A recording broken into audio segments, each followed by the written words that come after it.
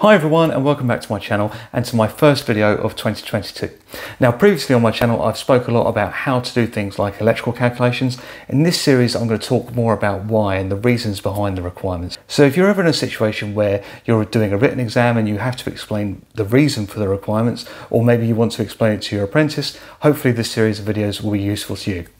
So if you haven't done so already, please subscribe to hear about more videos like this.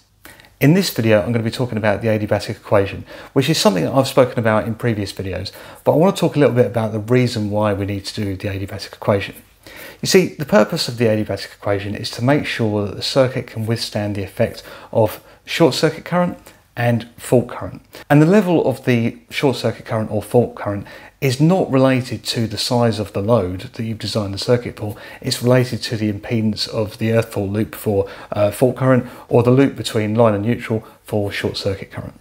So when we're designing a circuit from scratch, we start off with the load in kilowatts and we calculate the design current, we select the size of the circuit breaker, we calculate the size of the cable and we select the cable and then we do the volt drop calculation to make sure that the volt drop doesn't exceed the maximum permitted for the type of circuit. But then what we need to do is to do the adiabatic equation to make sure that the cable that's been selected is capable of withstanding the effect of the short circuit current and the fault current. Now, the fault current and the short circuit current are not related to the size of the load that you've designed the circuit for, but they're related to the impedance.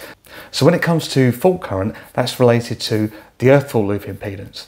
And just by using Ohm's law, we can find out what the fault current will be by dividing the voltage by the ZS. When it comes to short circuit, we can find that out by dividing the voltage by the ZSC, which is the loop between line and neutral for the circuit. If you haven't seen my video on how to carry out the adiabatic equation, I'll put a link at the top of the screen.